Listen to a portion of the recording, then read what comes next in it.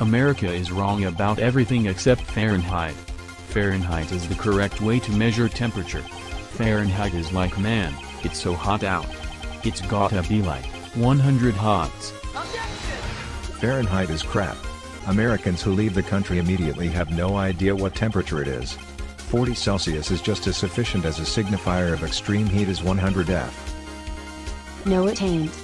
Universally, 100 has long been a round number used to convey there being an abundance of something. 40 has never been that.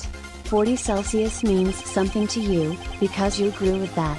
To people who didn't, it's not a big enough number to signify anything. That is the weakest rationale I've ever heard.